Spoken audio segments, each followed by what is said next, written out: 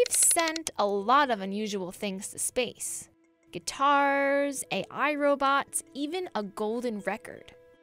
But none of that compares to what Elon Musk sent up at the start of 2018 his very own $100,000 cherry red convertible Tesla Roadster, with a top down and a dummy at the wheel listening to David Bowie.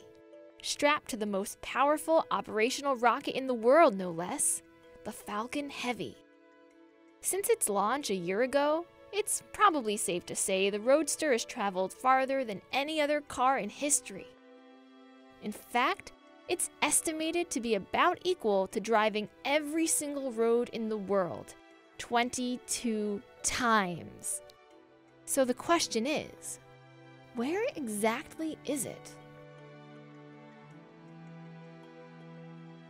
Right now, the Roadster is traveling through space at thousands of kilometers per hour, faster than most fighter jets.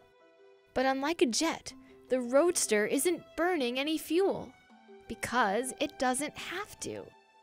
When SpaceX's Falcon Heavy rocket launched on February 6, 2018, it gave the sports car an initial boost in speed, sort of like a slingshot, that's been powering it through space ever since. And by November, that boost got it all the way to Mars. But Mars is just the first stop of many. The Roadster is currently on an elliptical path around the Sun, taking it past Venus and Mercury too. It completes one full orbit about every 557 days, and is scheduled to finish its first orbit before the end of 2019. Now, if nothing unexpected happens, like a miniature asteroid strike that could pummel the car to pieces, researchers predict that the Roadster will orbit the Sun for the next few million years. Sadly, it's too small and too far away to see in the night sky, even with the aid of a telescope. But eventually, it will make its way back to Earth. A team out of the University of Toronto projected the Roadster's orbit decades into the future.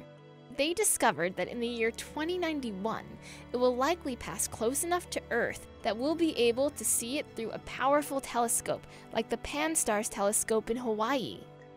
But if you don't want to wait that long, you can easily track the Roadster online. Fans like Ben Pearson use NASA data to project the car's location through space. For now, the convertible will continue its long drive around our inner solar system.